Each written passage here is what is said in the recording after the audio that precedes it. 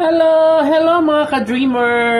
Tanong lang po, ano ang pwedeng kainin or masarap kainin sa taglamig? Ayan po guys ha, ano ang masarap kainin sa taglamig?